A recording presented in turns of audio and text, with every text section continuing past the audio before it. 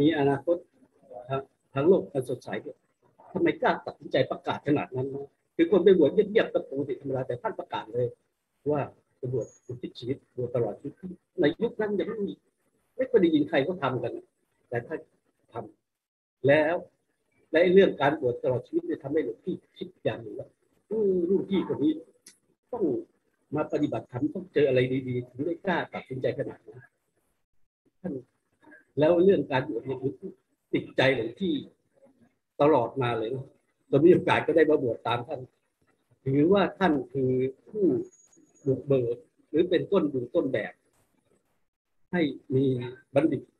ผู้มีการศึกษาดี แล้วเห็นทำถึงการธรรมะธรรมะปฏิบัติเข้ามาบวชหลังจากท่านนำร่องไปนี่บัณฑิต จำนวนมากมายเลย ที่มาบวชตามท่านอยู่เห็นเห็นกันอยู่ทุกวันนี้นะเออแล้วแล้วก็อย่างที่บอกแล้วอะคุยกันในหมู่พี่น้องท่านที่เกษตรนะว่าโอ้ยเดี๋ยวนี้พี่ชัยบูรณ์อะไรนี้พี่ชัยบูรณ์พี่ธรรมชโยสมัยก่อนเรียกหลวงพี่นะก็เรียกเป็นคุณมาก็จะไปกราบไม่ได้กราบต้นพานไหมสามปีหลวงพี่อยู่ปีสาม มีวันหนึ่งหลวงพี่ไปเข้าไปอ่านหนังสือในห้องสมุดของคณะเศรษฐศาสตร์นะเออหลวงพี่นอกจากอยู่หอพักเดียวกับหลวงพ่อแล้วยังอยู่เรียนอยู่คณะเดียวกันนะเพียงแต่ว่าคนละสาขาคณะเศรษฐศาสตร์และบริหารธุรกิจเนี่ยหลวงพ่อท่านเรียนสาขาเศรษฐศาสตร์เกษตรหลวงพี่เรียนเนเจอร์บัญชีนะ แล้วปกติหลวงพี่ก็เป็นคนชอบอ่านหนังสืออยู่แล้ว แต่ไหนแต่ไรวันหนึ่งไปคว้าหนังสือมาเล่มหนึ่งเออ อ่านแล้วมันวางไม่ลง แปลกมีหนำซ้ำวันหลังเรียนกลับไปอ่านซ้ำแล้วซ้ำอีกอ่านอย่างไรหลายผมหนังสือเล่มนี้มีชื่อว่า เดินไปสู่ความสุขจัดพิมพ์โดย มูลนิธิธรรมประสิทธิ์วัดปักยางประสิทธิ์เจริญเป็นขนาด A4 ปกสีเขียวนะผมยังจำรูปเล่มได้เลยอ่าแล้วคือโดยคณะผู้จัดพิมพ์เนี่ยได้แจ้งถึงวัตถุประสงค์ในการพิมพ์เผยแพร่ว่าพิมพ์เนี่ยเพื่อได้อธิษฐานเพื่อเสี่ยงบารมีตามหาที่น้องนักสร้างบารมี ที่พัดหลงกระจัดกระจายอยู่ในที่ต่างๆ ให้กลับมาสร้างบารมีร่วมกับคณะหลวงพี่บอกแล้วอ่านแล้วอ่านอีกอ่านแล้วอินนะนะหลวงพี่ปกติสนใจเรื่องการปฏิบัติธรรมแล้วอ่านแล้วมันว่าในนั้นเขาเขาบรรยายเขียนถึงชีวิตการปฏิบัติธรรมและผลการปฏิบัติธรรมของแต่ละคนอย่างนี้ท่านพระจนมารของหลวงพ่อทัตตะนะที่ชอบมากเลยเรื่องนี้ตอนเด็ก อย่างหลวงพ่ออยากเป็นคุณแผนมีมีเดียแล้วแล้วแล้วหลาย ๆ คนหลาย ๆ ท่านนะตอนนี้ส่วนใหญ่ก็มีหลายท่านเลยนะตอนนั้นอ่านแล้วมันอินนะแล้วมีความสุขลึกๆนะลึกๆอยู่ในใจว่าเอ้บางทีเขาบอกเขาอธิษฐานเสียงบารมีเพื่อตามหาพี่ๆน้องๆนักสร้างบารมีที่กระจัดกระจาย ให้กลับมาร่วมกันสร้างบารมีกับหมู่คณะที่นึกที่บางทีนะตัวเราอาจจะเป็นหนึ่งในในในผู้ที่คณะนี้เขาตามหาอยู่เหมือนกันนะเออมันก็คิดอยู่ในใจลึกๆในที่สุดหลวงพี่ก็ได้ไปวัดน้ำจนได้ เพราะว่ามีพี่ๆน้องๆหลายคนที่รู้จักกัน และทราบว่าเนี่ยเขาเคยไปวัดของน้ำเป็นประจำ นึกถึงหลวงพี่กรุณาจารย์หลวงพี่ขจรที่ปัจจรกันเคยรู้จักกันตั้งแต่สมัยเด็กอะตอนนั้นอยู่วัดบวรด้วยกันที่เรียนวัดบวรแล้วก็อยู่ที่วัดแล้วก็ท่านก็เป็นศิษย์วัดด้วยกันพอพอท่านรู้ว่าหลวงพี่สนใจท่านเลยนัดหมายพากันไปพี่ๆน้องๆหลายคนที่น้องๆผู้หญิงน้องๆผู้ชายเนี่ยนัดกันไปพอเข้าไปเป็นประจำอยู่แล้ว ทุกวัน เสาร์อาทิตย์เออ ก็ได้ได้ได้ไปพบไปกราบคุณยายกราบหลวงพ่อทั้งสองเออทีนี้สำหรับความรู้สึกนะ ที่ได้พบหลวงพ่อและคุณยายครั้งแรกเนี่ยมันเป็นความรู้สึกอย่างหนึ่งซึ่งประทับใจมากนะแต่ความสำหรับความรู้สึกจะเป็นอย่างไรเดี๋ยวที่ต้อง ขอหยิบยกนิทานเรื่องหนึ่งมาเล่าให้ฟังก่อน จึงจะเข้าใจได้อย่างซาบซึ้งถึงความรู้สึกนั้นนิทานเรื่องนี้เรื่องนี้อยู่ว่า อันนี้หลวงพ่อตัดไปเล่าให้ฟังหลวงพี่จำแม่นเลยชอบมากนิทานเรื่องนี้ เรื่องนี้อยู่ว่าในป่าใหญ่แห่งหนึ่ง ซึ่งเป็นที่อยู่อาศัยของสัตว์ป่านานาชนิดคราวหนึ่งมันเกิดน้ำท่วมใหญ่ แล้วก็ทำให้ลูกสิงโตที่ ที่เกิดมาไม่ไม่นานเนี่ยลูกสิงโตตัวหนึ่งเกิดพัดหลงน้ำมันพัดเข้าไป เข้าไปอยู่ในฝูงแกะ แม่แกะก็เกิดความสงสาร จึงเลี้ยงดูให้กินนมลูกกับลูกลูกของตัวเองนะแม่แกะก็มีลูกก็เอาลูกสิงโตมากินนะลูกมันเล็กๆอะนะดังนั้นลูกสิงโตจึงมีชีวิตเติบโตมาในวิถีชีวิตแบบลูกแกะ แล้วก็ยังคิดว่าตัวเองเนี่ยเป็นแกะเหมือนกัน เช่นเดียวกับลูกแกะที่เติบโตมาด้วยกันกินนมมาด้วยกันก็ก็ร้องเหมือนแกะใครร้องยังไงก็พยายามร้องอย่างนั้นนะกินหญ้าเป็นอาหารเหมือนแกะ แต่ตลอดเวลาที่ผ่านมาไอ้เจ้าลูกสิงโตตัวนี้มันความรู้สึกลึกๆว่า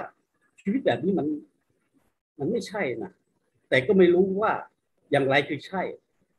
แล้วจะแปลกใจว่าทำไมที่พี่น้องๆตัวอื่นๆ ช่วงหลังๆเนี่ย มีทีท่าห่างเหินเหลือเกินก็ลูกลูกสิงโตเนี่ยไอ้เด็กๆตอนเล็กๆ มันก็เล่นตั้มแต่พี่น้องแกะได้ แต่ตอนหลังนี่ลูกสิงโตมันตัวโตขึ้นมันมีกำลังกะจะหยอกเล่นที่เกิดประปบทิงไอ้ไอ้ลูกแกะไอ้กระเด็นไปมันก็พี่น้องแกะด้วยกันมันก็เข็ดเลยก็ขยาด แต่เจ้าลูกสิงโตก็ไปที่ที่น้องๆเราชักห่างเหินไม่ไม่ไม่ค่อยเล่นด้วยนะทีนี้มีอยู่วันหนึ่งขณะที่แม่แกะเนี่ยพาลูกๆแกะและลูกสิงโตเนี่ย ไปหาหญ้ากินเงินเล่นหญ้ากินอยู่ที่ชายป่าวันนั้นพันได้ยินเสียงแปลกๆดังมาจากชายป่าอีกด้านนึง สียงนี้ทำให้แกะทั้งฝูงแตกตื่นตกใจกันพากันเตลิดหนีไป แม่แกะเองที่ดูแลลูกแกะอยู่ก็พยายามจะอะไรขยันขยอให้ให้ให้ลูกแกะหนีไปไอ้ลูกสิงโตหนีไปแล้วเสียงนั้นน่ากลัวมากนะเร่งเราแต่แปลกสำหรับเจ้าลูกสิงโตนั้นหรือถูกตึงด้วยเสียงนั้น มันมีความรู้สึกว่าเสียงร้อง เป็นเสียงร้องของสัตว์ป่าชิดใดก็ไม่รู้ รู้แต่ว่าเสียงนั้นมันมันใช่เลยอะนะเป็นเสียงที่โหยหามานาน แล้วมันเองก็คิดว่าตัวมันเอง ก็สามารถเปล่งเสียงทำแบบนี้ได้เหมือนกันลูกสิงโตความรู้สึกเป็นอย่างนั้นถึงลูกสิงโตก็พยายามนะพยายาม ไม่สนใจแม่แกะ พยายามเร่งให้ให้หนีไปด้วยกันแต่ลูกสิงโต พยายามเปล่งเสียงออกมาในที่สุดมันก็เปล่งเสียงออกมาได้จริง ๆ นะ เหมือนกับโล่งเลยนะพอเปล่งเสียงได้พอเปล่งเสียงไปก็ได้ยินเสียงร้องตอบ จากชายป่ายด้านหนึ่งมานั่นคือเสียงคำรามตึกกล้องของราชสีหูทันใดที่ได้ยินเสียงร้องของลูกสิงโตเนี่ยทำให้แม่แกะ ตกใจสุดขีดจนเพ่นหนีพาลูกๆหนีไปไม่เหลียวหลังเลยครับส่วนลูกสิงโตหลังจากที่ได้ส่งเสียงร้องได้ร้องโต้ตอบกันแล้วติดตามเสียงไปในนานก็ได้พบถูกสิงโต มันจึงเข้าไปอยู่ร่วมกับถูกสิงโต และรู้ตัวว่านี่คือพวกพ้องพี่น้องที่แท้จริงของมันอันนี้ใช่เลย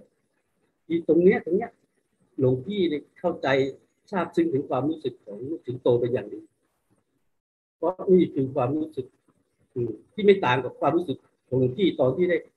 ได้มากราบได้มาพบหลวงพ่อทั้งสองได้พบคุณยายอาจารย์ และหมู่คณะที่บ้านธรรมประสิทธิ์ที่วัดปากน้ำภาษีเจริญเมื่อห้าสิบกว่าปีก่อนนู้นความรู้สึกอย่างนี้นะหลวงพี่เชื่อหลือเกินว่า พวกเราทุกท่านนะพวกเราชาววัดเนี่ยน่าจะมีความรู้สึกแบบเดียวกันนี้ ตอนที่ได้มาพบหลวงพ่อและหมู่คณะ ที่วัดพระธรรมกายนะหรือที่บ้านกัลยาณมิตร หรือแม้แต่อยู่สาขาต่างประเทศนะได้เข้าวัดไปเจอพี่น้องนักสร้างบารมีด้วยกัน จะมีความสุขเหมือนกันว่าเรามาเจอครอบครัวของเรามาเจอพี่น้องของเราเนี่ยนี่คือคือคือความรู้สึกคือพวกเราทุกคนเนี่ยควรจะรู้ว่าการที่ได้มาพบกันเนี่ยมันมีเหตุนะ เหตุที่เราประกอบกันมา สร้างกันมาหลายภพหลายชาติ พอมาถึงปัจจุบันนี้ แม้นว่าจะกระจัดกระจายไปเกิดในที่ต่าง ๆ กันสังคมที่แตกต่างกันพอถึงเวลาบุญมันก็บันดาลให้มาเจอกัน เหมือนฝูงนกก็เข้าฝูงนกฝูงเนื้อก็เข้าฝูงเนื้อนะฝูงปลาก็เข้าฝูงปลา ผู้ที่มีความปรารถนา มีธาตุธรรมเดียวกันในที่สุด อืมมันก็ต้องธาตุธรรมจะดึงดูดให้รวมกันไม่ว่าเรามาเจอกันที่บ้านนะบ้านบ้านกาเรียนมิตรนะหรือที่วัดนะวัดธรรมกายเนี่ยหลวงพี่มองไปทางไหนเนี่ย มันมีความรู้สึกว่าทุกคนคือญาติเราหรือพี่น้องเราพี่น้องร่วมสร้างกันมีด้วยกันทั้งนั้นความรู้สึกเป็นอย่างนั้นจริงๆตลอดมาเนี่ยเพราะอันเนี้ย เมื่อเรามาพบพี่น้องนักสร้างบารมีพันรูปรูปพันตะวันนะพันตะวัน แล้วเราจะได้ใช้วันเวลาอย่างมีคุณค่าเพื่อการเพื่อการสร้างบารมีนี่เป็นเครื่องหมายแสดงว่า เราเป็นผู้มีบุญที่สั่งสมมาอย่างดีแล้วจะต้องได้เข้าถึงพระธรรมกายอย่างแน่นอนและขอให้รู้ไว้ด้วยว่า เราคือคนสำคัญ วัดพระธรรมวัดพระธรรมกายของเราเนี่ยโดยการนำของหลวงพ่อและคุณยาย ได้เริ่มบุกเบิกสร้างมาตั้งแต่ปี 2513 ปีนี้ก็ครบ51 ปีโดยมีเป้าหมายร่วมกันที่จะสร้างวัดให้เป็นวัด สร้างพระให้เป็นพระ และสร้างคนให้เป็นคนดีมีศีลธรรม ตลอด 51 ปีที่ผ่านมา เราได้เผชิญอุปสรรคต่างๆนานานับประการแต่เราก็ผ่านพ้นมาได้ทุกครั้งภายใต้การนำของหลวงพ่อแม้ทุกวันนี้เราก็ยังคงเดินไปตามเส้นทางเดิม ด้วยเป้าหมายเดิมที่ไม่เปลี่ยนแปลง เพียงแต่เส้นทางนั้นมันขยายขึ้น ว่างไกลขึ้น แล้วก็มีคนมาร่วมเส้นทางนี้มากขึ้นทุกปีทุกปี วัดพระธรรมกายเติบโตมาได้ ก็เพราะว่าความร่วมแรงร่วมใจของพวกเราทุกคนอย่างที่หลวงพ่อได้บอกผลบุญเป็นของทุกท่าน ผลงานเป็นของทุกคน การได้เห็นความเจริญเติบโตของวัดพระธรรมกาย จึงเป็นความภาคภูมิใจของพวกเราที่ได้เป็นส่วนหนึ่งของวัดพระธรรมกายได้เป็นลูกศิษย์ของหลวงพ่อลูกศิษย์ของคุณยาย ไอ้ตรงนี้สำคัญมากนะเพราะมีหลักอยู่อย่างหนึ่งว่า ในโลกนี้น้อยคนนักที่จะสามารถสอนตัวเองได้คนเราทั่วไปยากที่จะเอาดีได้โดยลำพังคุณจะเอาดีได้ต้องอาศัยได้ครูดี มีกัลยาณมิตรช่วยแนะนำพระพุทธเจ้าถึงบอกเลยว่ากัลยาณมิตรเป็นทั้งหมดของกรมจันทร์ เรามีกัลยาณมิตรนำไปสู่ความสุขความเจริญอันนี้ตามหลักของหลวงธรรมนะชื่อว่าวุฒิธรรมสี่วุฒิธรรมสี่ประการอย่างที่หลวงพ่อทัตตะท่านเคยสอนหลวงพี่จำแม่นเลยนะอันหนึ่งต้องหาครูดีให้เจอ หาครูดีเจอทำไงฟังคำครูให้ชัดแล้วก็รองคำครูให้ลึก และทำตามครูให้ครบนี่พวกเรา จำอดีไว้แม่นนะมีกาลยานิต้องหาครูดีให้เจอนะแล้วก็ฟังคำครูให้ชัดกรองคำครูให้ลึกนะและทำตามครูให้จบบางคนนะเที่ยวด้านด้นค้นหาครูที่ถูกใจไปทั่วทิศแต่นั้นตลอดชีวิต ก็ยังไม่ได้พบประสบพบผ่านเออเขาหากันทั่ว ทุกทิศตลอดชีวิตก็ไม่มีโอกาสได้ประสบพบผ่านแต่พวกเราเป็นไง พวกเรานี่มีโอกาสได้มาพบยอดกัลยาณมิตรนะมีหลวงปู่วัดปากน้ำหลวงพ่อธรรมะหลวงพ่อทักษะและคุณยายอาจารย์ มหารัตนอุบาสิกาอาจารย์สุภุอันนี้นับเป็นโชควาสนาที่น่าภาคภูมิใจนะถือว่าเป็นโชคโชคมหาศาลเขา นั่นแต่หลวงพี่เองยังนึกเหมือนกันอะถ้าไม่ได้เจอหลวงพ่อนะไม่ได้เจอคุณยายนะไม่รู้จะเป็นอย่างนี้หรือเปล่านะอันนี้ถือว่าสิ่งที่น่าภาคภูมิใจจริงๆ ที่เราเป็นส่วนหนึ่งของวัดพระธรรมกายหลวงที่ไปที่ไหน ไม่ว่าจะในประเทศไทยหรือแม้แต่ในต่างประเทศเด็กก็บอก กว่ามาจากวัดพระธรรมกายใครๆก็รู้จักวัดธรรมกายดังๆนะมีคนช่วยโฆษณาให้โดยไม่รับค่าตอบแทนเยอะเลยยิ่งในประเทศเมียนมาด้วยแล้วแฟนคลับวัดพระธรรมกายมากมายเหลือเกินไปถึงที่ไหน วัดไหน ก็ได้รับการต้อนรับปฏิสัมพันธ์ทุกอย่างนี้เขารู้จักวัดธรรมกายเขาบอกที่ว่า เขาชื่นชมนะในความสะอาด ในความมีระบบระเบียบและความเข้มแข็งของหมู่คณะเราหลายท่านเคยมานะมาชมแล้วเขาก็ชื่นชมมาเจอดูจีไฟของเราวัดเราสะอาดเป็นระเบียบนะและความเข้มแข็งของหมู่คณะโดยเฉพาะ ในช่วงที่เราประสบวิกฤตนะมีมีภัยถูกคุกคาม หมู่คณะเราก็สามารถยืนหยัดรักษาวัดรักษาพระศาสนา รักษาคุณธรรมความดีไว้ แม้จะต้องเผชิญปัญหาอย่างหนักหนาสาหัสก็ตามผมที่ได้ยินอย่างนี้แล้วก็ชื่นใจนะดีใจว่าการทำความดีของหมู่คณะเราที่ผ่านมานั้นอยู่ในสายตาของชาวโลกมาตลอด ไม่เพียงแต่เฉพาะ คิดว่าตอนแรกคิดว่า เออเฉพาะเทวดานางฟ้าเท่านั้นที่มองเห็นแต่มนุษย์เดินดินที่อยู่ในดินแดนไกลก็ยังรับรู้รับทราบด้วยเช่นกัน มันน่าภูมิใจจริงๆนะมันมีคำพูดอยู่คำหนึ่งที่ชอบมากเลยน้ำที่ใสบริสุทธิ์เพียงแค่หยดเดียว ก็นับว่ามีความสำคัญยิ่งใหญ่ หากว่าน้ำนั้นเป็นน้ำที่อยู่ในมหาสมุทรเพราะเมื่ออยู่ในมหาสมุทรแล้ว น้ำหยดนั้นก็ได้ชื่อว่าเป็นมหาสมุทรด้วยเช่นกัน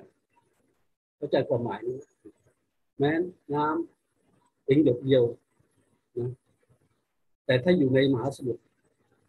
น้ำนั้นก็คือมหาสมุทรด้วยงั้นแม้เราจะเป็นฉันใดก็ฉันนั้นนะแม้เราจะเป็นคนจีเศษเสี้ยวเล็กๆ ของวัดพระธรรมกายก็ตามแต่เราก็สามารถไปไหนเราก็กล่าวได้อย่างเต็มปากด้วยความภูมิใจว่า เราเป็นส่วนของวัดพระธรรมกาย ไปที่ไหน เวลาไปไปนั้นถึงที่ไปพม่าประจำเนี่ยโอ้โหพระเป็นเห็นว่าถึงญาติโยมรู้จักมาจากพระธรรมกายรู้จักรู้จักดูข่าว ข่าวเรากระจายไปทั่วโลก อย่างที่บอกแล้ว มีผู้ปรารถนาดีไม่ดีก็ตามแต่เขาก็ช่วยประชาสัมพันธ์ชื่อเสียงของเราไปทั่วโลกเลยนะหลายประชาสัมพันธ์วัดธรรมกายที่ถือว่าที่ผ่านมานี่มีผลงานยิ่งใหญ่มากเลยบางทีมันจะยิ่งใหญ่โดยไม่รู้ตัวเพราะว่ามีคนช่วยกระจายข่าวให้รู้จัก ชารู้จักวัดธรรมกายเป็นอย่างแล้วก็ที่ที่มีวัดพระธรรมกายถึงจุดนี้นะที่อยากจะพูด เราภูมิใจว่าเป็นส่วนหนึ่งของวัดพระธรรมกาย และที่มีวัดพระธรรมกาย และมีเราที่เป็นเราอยู่ในวันนี้ได้ก็เพราะว่าอะไร เพราะว่ามีวันธรรมชัย มาถึงเรื่องสำคัญ วันธรรมชัยที่ถือเป็นวันสำคัญของพวกเราทุกคนลองมาไล่เรียงกันดูนะ วันธรรมชัยทำให้มีหลวงพ่อธรรมชโยพอมีหลวงพ่อธรรมชโย ก็ทำให้มีวัดพระธรรมกาย มีวัดพระธรรมกาย ก็ทำให้เรามีเป็นเราอยู่ในวันเนี้ยดังนั้น ถ้าไม่มีวันธรรมชัยก็ไม่มีวัดพระธรรมกายนะแล้วก็ไม่มีเราที่เป็นเราอยู่ในวันนี้ ดังนั้นวันธรรมชัยจึงเป็นวันที่สำคัญอย่างยิ่งนะสำคัญอย่างที่ใครคนหนึ่ง เคยบอกไว้ว่า วันธรรมชัย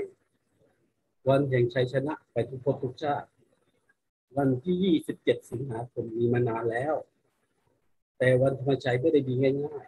ๆแล้วคุณยายให้เลือกว่า จะเอาวันไหนเป็นวันธรรมชัยนะใครคนหนึ่งบอกว่าคนหนึ่งก็ยิบปฏิทินขึ้นมา ตัวเลขอื่นไม่ดู สายตาจับจ้องไปที่วันที่ 27 สิงหาคมเป็นครั้งนั้นนะตรงกับวันพระขึ้น 15ค่ำพอดี วันนี้จึงเป็นวันธรรมชัย วันที่ตังเม ถ้าใครมาชิตังเมในวันนั้น คนคนนั้นก็จะชิตังเมไปทุกภพทุกชาตินะ ดูซิว่าสำคัญขนาดไหนทำไมถ้าเลือกเอาวันนี้ วันที่ชนะโดยธรรมนะวันนี้สำคัญนะใครจะชนะด้วยก็มาเถิด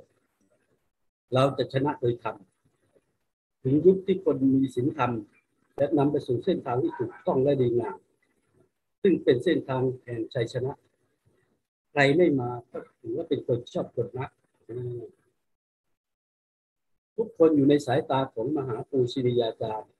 เพื่อนำทุกคนไปสู่เส้นทางแห่งธรรมชัยคือเส้นทางที่ถูกต้องและดีงาม ด้วยศีลธรรมนำไปสู่ชัยชนะนิรันดรใครมาก็จะชิดตังเมทุกคนนะมากันนะ มาเข้าซูมกันในวันธรรมชัย วันศุกร์ที่27สิงหาคมนี้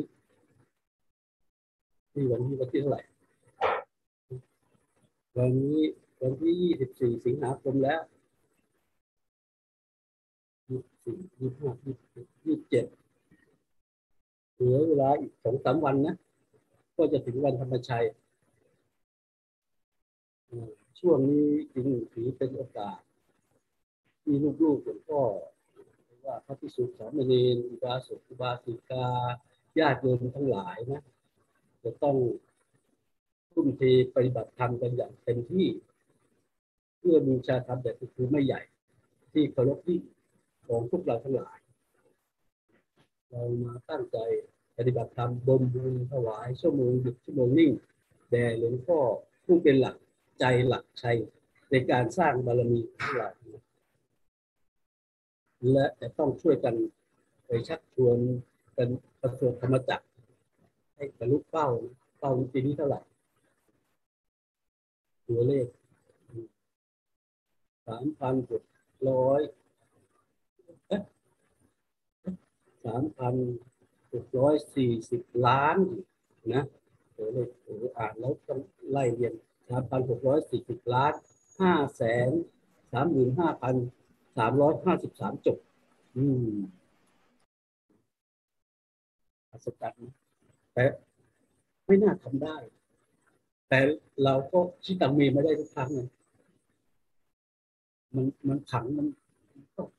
ต้องให้ชนะนะเราต้องชิตังเมมันก็ รู้สึกเป้ายังอยู่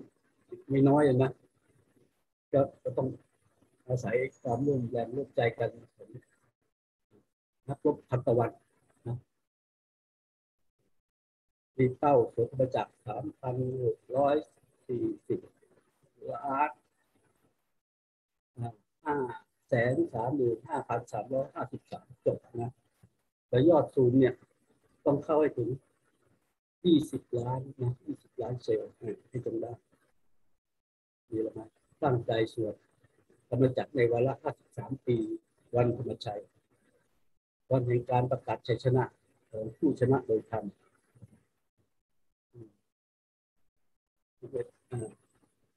ญาติโยม หลวงพี่พูดถึงว่า เนี่ยเรา เราเป็นบุคคลที่มีโชคดีนะโชคดียิ่งกว่าถูกลอตเตอรี่รางวัลที่หนึ่งนะแค่ได้มาเป็นลูกศิษย์ผมก็คุณยายนะก็คือหลวงปู่อย่างที่บอกอะบางคนตะเวนหาครูบาอาจารย์ทั่วทุกทิศมาตลอดชีวิตก็ไม่ได้พบใครพวกเรา ได้มาพบครูดีมาพบยอดกัลยาณมิตรที่มีประสบการณ์เดินทางไปกราบพบครูบาอาจารย์มาเยอะนะแต่ผมที่ก็เคารพท่านอย่างผู้ใหญ่ครูบาอาจารย์หน้ากราบหน้าไหว้แต่ตอนที่มากราบหลวงพ่อกับคุณยายนะความรู้สึกมันลึกๆมันก็บอกว่านี่ใช่เลย นี่ครูบาอาจารย์เรา แล้วก็มีอยู่สิ่งหนึ่งที่หลวงพี่ภูมิใจตัวเองมาตลอดนะเวลาติดขัดอะไรเนี่ย เข้าไปกราบหลวงปู่หลวงคำที่วิหารหลวงปู่ตั้งเป็นสัจจาธิฐาน ว่าตั้งแต่ที่หลวงพี่เข้ามา ใต้ลมเงาของหลวงปู่ในศึกษาวิชาธรรมกายเป็นลูกศิษย์หลวงปู่หลวงพ่อคุณยายหลวงพี่ไม่เคยมีความเครือบแคลงในคำสอนของครูบาอาจารย์มีความมั่นคงต่อครูบาอาจารย์และก็วิชาธรรมกายมาตลอดขอด้วยอานิสงส์ด้วยสัจจวาจาขอให้สิ่งที่ปรารถนาที่ตั้งใจไว้หรืออุปสรรคต่างๆที่ มาขัดขวางเนี่ย ให้เป็นมาลายหายไปให้ประสบความสำเร็จอันนี้ที่บอกเคล็ดลับนะเพราะว่ามันก็ผ่านประสบความสำเร็จ มันมันถือว่าเป็นสัจจวาจาหลักสำคัญที่หนึ่งเราต้องจริงนะอันนี้อยู่ที่มั่นใจที่เป็นลูกตั้งแต่เป็นลูกศิษย์หลวงพ่อลูกศิษย์อยู่ใต้โรงแรมหลวงปู่มาเนี่ยห้าสิบกว่าปีไม่เคยเห็นแต่เป็นอื่นมั่นคงต่อ หลวงปู่ต่อหลวงพ่อคุณยายและวิชาธรรมกายมาตลอดชีวิตอย่างโดยทั่วไปอะมันจะมีหลักอย่างเงี้ยสัจจะมันมีเป็นชั้นๆถ้าทำอะไรมา แล้วไม่โกหกเลยนะ คือสัจจะระดับหนึ่งคือคือทำอย่างไร แล้วพูดอย่างนั้น คือไม่โกหก แต่ถ้าพูดอย่างไรทำอย่างนั้น ถือว่ามีสัจจะนี่อีกชั้นหนึ่งนะ อันแรกทำอย่างไรพูดอย่างนั้น ไม่โกหกพูดอย่างไรทำอย่างนั้น คือสัจจะแต่ขั้นสุดยอดนี่คืออะไร พูดอย่างไรเป็นอย่างนั้น นี่คือวาจาสิที่ที่หลวงพี่พูดถึงเนี่ยคือ ถ้าเรามีความจริงนะ จริง ต่อความดีจริงต่อธรรมะแล้วก็พูดอย่างไร ก็เป็นอย่างนั้นทำให้เราสามารถ เราเป็นคนศักดิ์สิทธิ์ได้นะนี่พระผู้ใหญ่หลวงปู่ตาเนี่ยที่ท่านมั่นคงในในในทัจจะในสิ่งแต่ละวัดท่านจะมีชื่อเสียงว่าเป็นผู้มีวาจาสิทธิ์พ่อท่านคล้ายนะพ่อท่านคล้ายวาจาสิทธิ์เนี่ยท่านจะเป็นคนจริงทับจริงปฏิบัติจริง ถึงได้ได้ก็ประสบความสำเร็จโยมเอาไปใช้ดังนั้นเป็นที่ หรือว่าอันนี้ประสบการณ์แล้วก็สิ่งที่ที่หลวงพี่ประทับใจนะในในหลวงพ่อเราที่มาเป็นลูกศิษย์หลวงพ่อตลอดห้าสิบห้าสิบปีนะห้าสิบเอ็ดปีที่เป็นลูกศิษย์หลวงพ่อเลย ท่านเป็นแบบอย่างที่ดีนะเป็นทั้งแนะและผู้นำหลวงพี่ไม่เคยได้ยินหลวงพ่อท่านว่าร้ายใครเลยนะทั้งทั้งที่บางทีท่านถูกคนจับช่วงล่วงเกิน ท่านไม่เคยโต้ตอบไม่เคยว่าร้ายบางทีท่านก็พูดมาแบบว่า อืมเอ่อ อย่าไปโกรธเขาเลย อย่าไปว่าเขาเลย เพราะว่าเราต้องมาดูตัวเราเองว่า เราไม่สามารถทำให้เขาเข้าใจเราได้ บางทีที่เราตั้งใจทำความดีเนี่ย โดยบริสุทธิ์ใจ แต่บางคนเขาไม่เชื่อจริงทำขนาดนี้ไม่เชื่อว่าทำโดยบริสุทธิ์ใจนะเราเจอมาแล้วรู้สึกพัฒนากายเนี่ยเราก็ใหม่ๆก็หงุดหงิดเหมือนกันนะแรกๆนะเนี่ยว่าเออเราก็ทำความดี เรามานั่งสมาธิภาวนา เราทำบุญก็เงินของเรานะเรามีศรัทธาทำก็หาว่าเราเอ่อว่าบุญเงินงานอย่างนี้นะเออหลวงพ่อท่านบอกว่าเป็นเพราะเรายังไม่สามารถทำให้เขาเข้าใจที่เราทำได้ แล้วก็ท่านสอนอยู่อย่างหนึ่งที่ที่หลวงพี่จำไม่แม่นเลย เพราะว่าท่านบอกว่า คนทั้งโลกเนี่ย ที่จริงก็เป็นญาติพี่น้องกันทั้งนั้นน่ะในวัฏสงสารอัญญาไกล ไม่มีใครที่ไม่เคยเกิดมาเป็นญาติกันมาก่อนดังนั้นเวลาจะโกรธใครเนี่ยนะก็ก็ก็ฉุกคิดนิดนึงเออไอคนที่นี้บางทีก็อาจจะเคยเป็นพ่อเราเป็นแม่เรา เป็นพี่เราเป็นน้องเรา เป็นสามีภรรยาอะไรเงี้ยนะ หรือหรือเป็นคนที่มีบุญคุณกับเราเนี่ยนะแต่บางทีเราอาจจะเคยทำกับเขาไม่ดีมาก่อนเป็นเป็นเป็นวิบากกรรมทำให้เขาต้องมาว่าเรามามาทำร้ายเราผมคิดอย่างนี้ได้นะโกรธใครไม่ลงเนี่ย แล้วแล้วหลวงพ่อท่านก็สอนนะที่จำคำนี้ได้กว่าเราตั้งใจจะซื้อสัตว์เป็นสัตว์นำสัตว์ไป ข้ามวัฏสงสารไปสัมปนิพพานแม้แต่มดแต่ปลวกนะเราก็ยังต้องเอาไปนะเอาไปจนได้ดังนั้นไอ้ไอ้ไอ้คนนี้ที่เราจะต้องเอาไปทำไมเราจะต้องไปไปไปทำร้ายโต้ตอบเขาแหละนะยังไงก็เราต้องขอบพิ้วเข้าไป ไม่ทิ้งใครไว้ข้างหลังเนี่ยถ้าคิดอย่างที่หลวงพ่อสอนได้สวมหัวใจพระโพธิสัตว์แล้ว มันจะเป็นอย่างนั้น มันใจมันจะเย็นมันจะโกรธใครไม่ลง เห็นไหมโยมไม่ที่มันได้เรียนอยู่นะในโลกเนี้ยจะมีใครสักกี่คนที่ที่เคยถูกจับช่วงล่วงเกิน เท่ากับหลวงพ่อเราแต่ท่านก็อยู่กันได้เพราะอะไรท่านคือธรรมชโยผู้ชนะโดยธรรมนะ อืมเนี่ย ภูมิใจนะ เรามีครูบาอาจารย์ดีเป็นต้นแบบที่ดีนะให้พวกเรา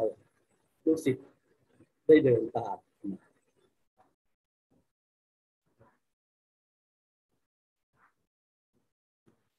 หลวงพี่แล้วหลวงพี่ในฐานะตัวแทนที่เป็นลูกศิษย์รุ่นแรก ๆ นะ ตั้งแต่บ้านธรรมประสิทธิ์ห้าสิบ ปีมาแล้ว ได้เป็นลูกศิษย์หลวงพ่อเป็นลูกศิษย์คุณยายเนี่ยความรู้สึกไม่เคยเปลี่ยนแปลงตลอดห้าสิบปีที่ผ่านมาพวกเราเป็นลูกศิษย์หลวงพ่อดูแบบอย่างหลวงพ่อนะแล้วแล้วที่ผ่านมาเนี่ย ท่านก็นำเราไปสู่ความสำเร็จสู่ชัยชนะ โดยทั่วไปวิกฤตที่ที่ผ่านมาเนี่ย คนทั่วไปอย่างที่ได้ยินข่าวเขาบอกวัดธรรมกายไปไม่รอดจริงๆเราก็ผ่านอุปสรรคมาได้นะที่ที่หลวงพี่บอกอะหลวงพี่ไปไปพม่านะทำที่เขาถามมาว่าธรรมกายผ่านคนวิกฤตนี้มาได้อย่างไรเนี่ยเพราะเรามีผู้นำที่ดี มีต้นแบบที่ดี แล้วที่สุด เราจะต้องธรรมะธรรมชัยนะ คือได้ชัยชนะโดยธรรมนี่ไงความสำคัญของวันธรรมชัยเป็นอย่างนี้ ให้เราระลึกถึงเรามาสวดนึกถึงตั้งใจมาช่วยกันสวดธรรมจักรในวันละห้าสิบสามปีวันธรรมชัย วันแห่งการประกาศชัยชนะต่อผู้ชนะโดยธรรมวันที่ใครว่าไว้ว่าไม่มีวัน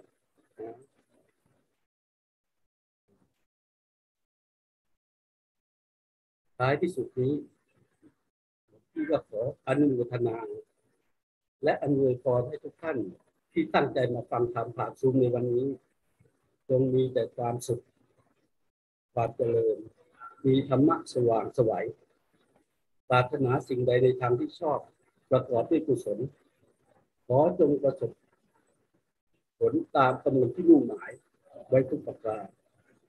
ขอให้ทุกท่านได้ประสบชัยชนะชิตังเมไปทุกภพทุกชาติให้ได้สร้างบารมีตามติดติดตามพระเดชพระคุณหลวงปู่คุณครูไม่ใหญ่ คุณยายอาจารย์ตลอดไป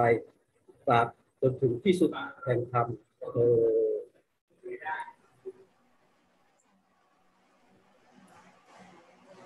ได้รับฟังธรรมะอันทรงคุณค่าในวันนี้นะคะ ก็ รู้สึกว่าได้ข้อคิดแล้วก็ได้ทบทวนมากเลยค่ะว่า การที่เรานะคะได้เข้ามาเจอในสำนักเนี่ยความรู้สึกที่เราได้เข้ามาเจอหลวงพ่อคุณยายทำเหมือนเราได้กลับมาเจอพี่น้องนะคะครอบครัวที่อบอุ่นของเราเองค่ะ ซึ่งมันก็ทำให้ย้อนแล้วก็บุญนะคะมันเหมือนเราได้ทบทวนบุญแล้วก็เกิดตลอดตอเนื่องความปลื้มปิติก็เกิดเนาะระหว่างที่ได้ฟังธรรมะพระอาจารย์ พี่พี่ๆทุกท่านรู้สึกปลื้มแล้วก็ภูมิใจที่ได้มาพบคุณชายนะตรงนี้คะถ้าปลื้มนะคะขออนุญาตช่วยพิมพ์แชทมาหน่อยนะคะ ว่าโอ้ปลื้มมากเลยค่ะพระอาจารย์ท่านค่ะต้องเรียกว่าเป็นยุคบุกเบิกเลยนะคะมาพบหลวงพ่อนะคะตั้งแต่สมัยเรียนค่ะตอนท่านเป็นเฟชชี่หลวงพ่อท่านก็อยู่ปีสี่บอกว่าประวัติส่วนนี้นี่แทบจะไม่เคยได้ฟังที่ไหนมาก่อนเลยค่ะ อาจารย์ก็ได้เหมือนพูดจากใจจากอินเนอร์ของ ซึ่งรู้สึกว่าสัมผัสได้จับใจเลยว่าความรู้สึกที่ท่านได้มาเจอคณะเนี่ยเป็นยังไงนะคะลองถามกลับไปที่ตัวของเราเองค่ะในวันนี้ที่ทุกท่านมีความรู้สึกแบบนั้นเหมือนวันแรกที่เราได้มาเจอคณะกันอยู่หรือเปล่านะคะซึ่งอีกไม่กี่วันก็จะถึงวันธรรมชัยแล้วนะคะซึ่งเป็นวันที่วันถึงการประกาศชัยชนะนะคะของผู้ชนะโดยธรรมพระธรรมชโยของท่านค่ะนี่คือวันแล้ว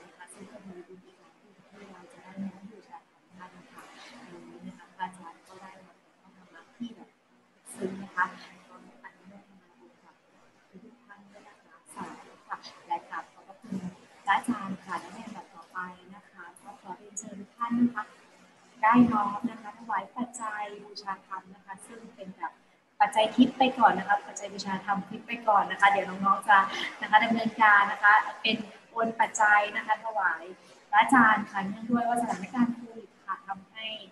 เขาเรียกว่าลดลดฟอร์มอาสมนะคะลดฟอร์มอาสมพระผู้ปรับมารนะคะ ซึ่งก็เลย ได้ขอน้อมถวายปัจจัยบูชาธรรมพระอาจารย์ออนไลน์กันนะคะเดี๋ยวน้องน้องปัดช่วยขึ้นนะคะ เจ้าภาพรายงานเจ้าภาพด้วยนะคะ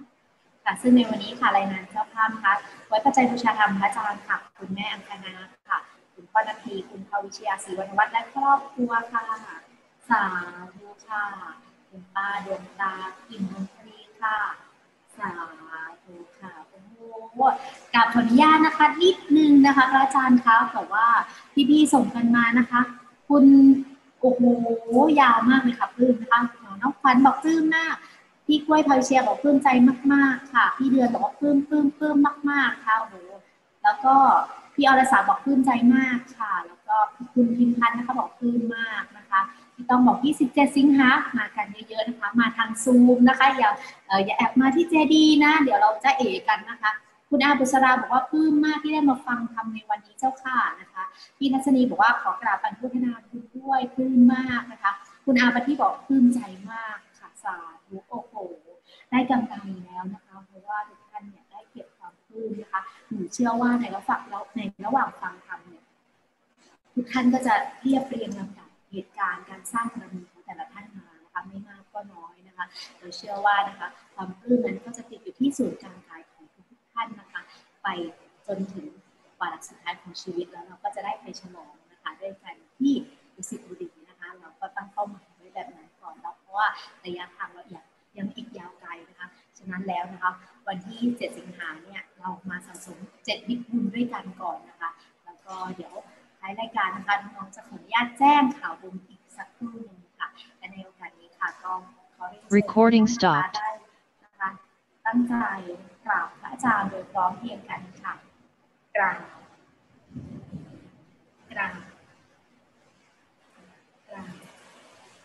เรียนพรทุกท่านเลยนะให้ได้บุญเยอะๆจ้ะค่ะกราบขอบพระคุณในความเมตตาของพระอาจารย์ค่ะสาธุค่ะค่ะ ก็อย่างที่บอกนะคะ อีกเจ็ดปิกบุญนะคะอ่าต่อกันเลยอีกเจ็ดปิกบุญที่เราจะมาร่วมกิจกรรมผ่านซูมนะคะ ต้องแอบกระซิบบอกทุกท่านนะคะ ว่าตอนนี้นครหลวง11ซีนะคะโอ้เป้ายอดซูมของเรายังห่างไกลแบบมากเลยปกตินะคะนครหลวง11ซีจะอยู่ดับต้นๆตลอดนะคะเขาบอกครั้งนี้เกือบล้ำท้ายเลยนะคะพี่ๆนะคะ เดี๋ยวเรามาช่วยกันว่าเจ็ดปิกบุญเรามาบูชาธรรมหลวงพ่อกันนะคะ ซึ่งในวันนั้นจะมีบุญอะไรบ้างนะคะเดี๋ยวขออนุญาตนะคะ ได้แจ้งพี่ๆทุกท่าน ก็บุญแรกค่ะบุญถวายพัตตาหารเป็นสังฆทานค่ะ บุญที่สองเป็นบุญถวายที่ดานเภสัชนะคะ แล้วก็ถวายอุปกรณ์การแพทย์ค่ะ บุญต่อมาบุญต่อมาค่ะบุญที่สี่ค่ะ บุญเจริญพระพุทธมนต์นะคะถวายปัจจัยเทธรรมนะคะ ซึ่งท่านใดที่ยังไม่ได้เอาบุญนี้บุญนี้กันนะคะโอ้โหได้บุญมหาสังฆทานเลยค่ะ ต่อมาค่ะบุญที่ห้าบุญถวายประทีปโคมไฟนะคะแปลอักษรภาพค่ะ ภาพที่ทุกท่านเห็นสวยๆในทุกงานนะคะ ขอให้เราได้มีส่วน มีดวงปัญญาสว่างสว่างไปทุกทุกชาตินะคะ แล้วก็บุญต่อมาค่ะบุญที่หกฉลองชัยที่ตั้งมีสุดจากซึ่งพระอาจารย์ก็ได้แจ้งยอดไปแล้วนะคะ ทุกท่านคุณอยู่ในความสำเร็จฉะนั้นแล้ว ใครมียอดคงค้างอยู่ส่งกันเข้ามาหรือว่าใครที่เก็บสะสมไว้อย่างคุณป้างคณานะหรือคุณป้างคณาคุณแม่คณาเนี่ยสวดทุกวันทั้งวันเลยนะคะ ก็ส่งยอดเข้ามาได้จะพันจบหมื่นจบก็ส่งมาได้เลยนะคะพระอางนะโอ้โหพระอางเป็นสุดยอดเลยค่ะ แล้วก็สุดท้ายค่ะบุญที่เจ็ด ที่ตังเมซูม20 ล้านนะคะ ซึ่งนะคะนครหลวง 11 ซีนะคะ ก็ยังรอคอยความหวังนะคะตรงนี้ขออนุญาตทำการถูกปิดนะคะ รอคอยความหวังซูมนะคะ จากที่ที่ทุกท่านมาช่วยกันนะคะ ก็รอบสำคัญที่บอกเลยคือ รอบปล่อยปลาค่ะ รอบถวายพระทหารเป็นสังฆทานนะคะ แล้วก็รอบเย็นค่ะ รอบบูชาพระมหากรรมการเจดีย์ค่ะ แล้วก็รอบสุดท้ายคือเราได้มานั่งสมาธิแผ่เมตตากันที่นาพระมหาเจดีย์ค่ะ อย่างน้อยตั้งเป้าไว้ที่รอบละ 50ท่านค่ะ เราจะได้เข้าสู่เข้าเข้าสู่เส้นชัยได้เร็ววันแล้วก็ได้มาร่วมฉลองกันในวันที่ 17 สิงหาเราก็จะได้เป็นผู้ที่มีผังชนะไปครบทุกชาติ แบบนี้ดีไหมคะนะคะอาจารย์นะคะยิ้มให้กำลังใจดีไหมคะพี่ๆนะคะ ดีนะคะเออพระอาจารย์ยิ้มให้นะคะอย่างน้อยพระอาจารย์ท่านยิ้มให้หนูมีกำลังใจแล้วนะคะ โอเคค่ะโอ้สาธุดีค่ะพี่กล้วยบอกว่าดีค่ะสาธุนะคะเดี๋ยวเรามาที่ตังมีไปพร้อมๆกันค่ะ แล้วก็ต่อจากนี้ไปนะคะ ก็จะเป็นค่ะเดี๋ยวเราได้มาร่วมกันสวดธรรมจักรนะคะ ที่หน้าพระมหาธรรมเจดีย์แล้วต่อด้วยการนั่งสมาธิแผ่เมตตาไปพร้อมๆกันค่ะ